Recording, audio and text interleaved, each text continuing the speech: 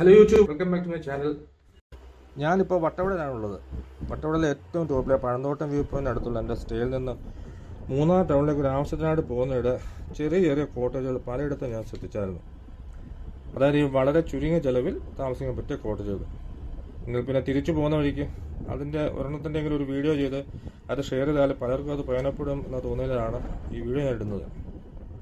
പട്ടവടയിൽ ഇത് നാലാമത്തെ തവണയാണ് ഞാൻ വരുന്നതെങ്കിലും ഇത്തരം കോട്ടകളെ പറ്റി എനിക്ക് ഒരു ഐഡിയ ഇല്ല ഇത്ര നാൾ അത്യാവശ്യം യാത്രകളൊക്കെ ചെയ്യുന്ന ഒരാളെന്ന നിലയ്ക്ക് പലരും എന്നോട് ചോദിക്കാറുണ്ടായിരുന്നു ഈ ബജറ്റ് ഫ്രണ്ട്ലി ആയ ചീപ്പ് ആയിട്ടുള്ള സ്റ്റേകളെ കുറിച്ച് അറിയാമോ?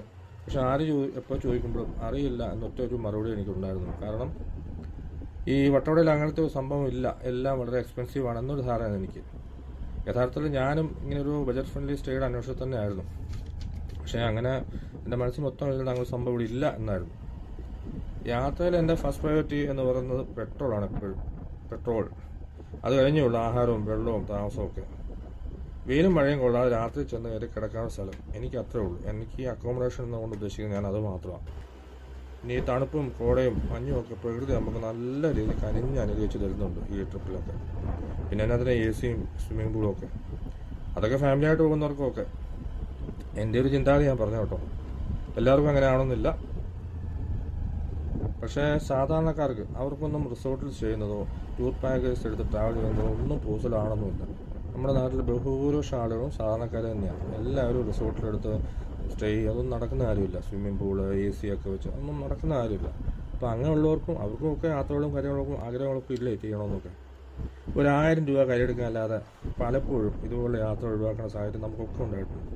എനിക്കുണ്ടായിട്ടുണ്ട്? കേട്ടോ ആ സമയത്ത് ഒരു പക്ഷേ ഇതുപോലുള്ള ഈ പെർ ഹെഡ് അഞ്ഞൂറ് രൂപ ഉള്ളൂ എന്നറിഞ്ഞാൽ നമുക്ക് ആ യാത്ര പോകാൻ സാഹചര്യം വരും.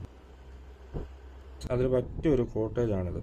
വളരെ വിശദമായിട്ട് കാണിക്കാനൊന്നുമില്ല ഇവിടെ അതുകൊണ്ട് നമുക്ക് പെട്ടെന്ന് കണ്ടുപോകാം പ്രത്യേകിച്ച് ഇത് ബാച്ചിലേഴ്സിന് കറക്റ്റ് ഈ സ്ഥലം. നമ്മൾ കൂട്ടുകാർ ഒരു അഞ്ചാറ് പേര് കൂടി വന്ന് അങ്ങനെ ഇരിക്കും അതിന് പറ്റിയ സ്ഥലമാണ് ആഹാരം മാത്രം നമുക്ക് വെളിയിൽ നിന്ന് വല്ലതും മേടിച്ച് കഴിക്കണം. അത്രേ ഉള്ളൂ. പേര് wild campers Vattavada Munnar phone നമ്പരും ഒക്കെ ഉണ്ട്.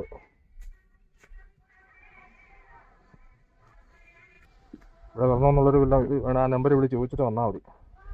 ഞാൻ പോകും കൂടെ മേലോട്ട് പോകുന്ന വഴിക്ക് കണ്ടുകൊണ്ട് എടുത്തേ ഉള്ളൂ. ആ ഫോൺ നമ്പറിൽ വിളിച്ചു ചോദിച്ചിട്ട് വരുന്നതായിരിക്കും നല്ലത്. വന്നു കഴിഞ്ഞിട്ട് ഒരു കൺഫ്യൂഷൻ ഉണ്ടാകണ്ട അവർ നല്ല വിളിച്ചു ചോദിച്ചിട്ട് അന്വേഷിച്ചിട്ട് വരുന്നതന്നെ നല്ലത്. ഞാൻ ഈ വീഡിയോ എടുക്കുന്നുണ്ടുണ്ട് ഇവിടെ നിന്നൊരു പുള്ളി ഇറങ്ങി വന്നു. പുള്ളിയോട് പെർമിഷൻ ചോദിച്ചിട്ടാണ് ഞാൻ ഈ വീഡിയോ എടുക്കുന്നത്. ഡബിൾ കോട്ടല്ലേ ഡബിൾ ബെഡ്റൂമാണ് പക്ഷേ എക്സ്ട്രാ ബെഡ് പ്രൊവൈഡ് ചെയ്യുന്നുണ്ട് അവർ അപ്പോൾ ഒരു നാല് പേർക്ക് സുഖമായിട്ട് കിടക്കാൻ റൂമിൽ റൂം നല്ല ക്ലീൻ ആൻഡ് നീറ്റാണ് നല്ല വൃത്തിയായിട്ട് തന്നെ കിടക്കുന്നത്.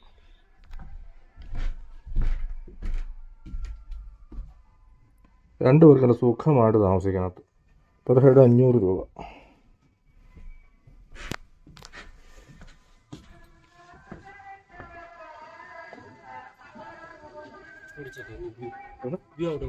ആ ഓക്കെ. ഇത് ഓരോ ഓണർ. അദ്ദേഹത്തിന്റെ പേര് അരുൺ എന്നാണ്. ആഹാ ഇത് കൊള്ളാമല്ലോ നല്ല വ്യൂ ഉണ്ട് എന്തായാലും. ഇതൊക്കെ പോരെ. ന്യായമായ റേറ്റിൽ ന്യായമായ സൗകര്യങ്ങളോടുകൂടി ഒന്നോ രണ്ടോ ദിവസം ഒന്ന് വന്ന് കിടന്ന് ഉറങ്ങാനുള്ള സ്ഥലം ആദ്യത്തിലൊക്കെ കണ്ടാൽ മതി. നമ്മളിവിടെ എല്ലാം കറങ്ങിയെടുത്ത സ്ഥലങ്ങളെല്ലാം കണ്ട് നടക്കുവാണല്ലോ. നല്ല തണുപ്പുണ്ട് നല്ല വൈബാണ് ഈ സ്ഥലത്ത്. നല്ല വ്യൂ അവിടെ താമസിക്കുന്ന ആ സ്ഥലത്ത്. ഇതെന്ന് പറഞ്ഞാൽ എട്ട് പേർക്കുള്ള റൂമാണ് കിച്ചൺ ഉൾപ്പെടെ. നാല് ബെഡുണ്ട് ഡബിൾ കോട്ട് അങ്ങനെ എട്ട് പേർക്കുള്ള.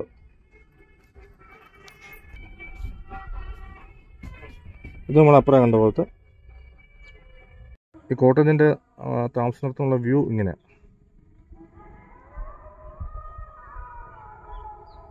പിന്നെ മറ്റൊരു കാര്യം എക്സ്ട്രാ ആൾക്കാരെ അക്കോമഡേറ്റ് ചെയ്യുന്ന കാര്യത്തിന് അത് അവരോട് നിങ്ങൾ നേരിട്ട് സംസാരിച്ചാൽ മതി. ഒന്നുകിൽ ഫോണിൽ കൂടെ തന്നെ അല്ലെങ്കിൽ ഇവിടെ വന്നിട്ടാണെങ്കിലും അവിടെ ഓൾറെഡി ആളുണ്ടെങ്കിലോ അല്ലെങ്കിൽ റൂമിന്റെ അവൈലബിലിറ്റി അനുസരിച്ച് ആൾക്കാരെ എങ്ങനെ അഡ്ജസ്റ്റ് ചെയ്തൊക്കെ അവരോട് നേരിട്ട് സംസാരിച്ചാൽ മതി. ഫോണിലൂടെയോ നേരിട്ട് കാണുമ്പോഴോ.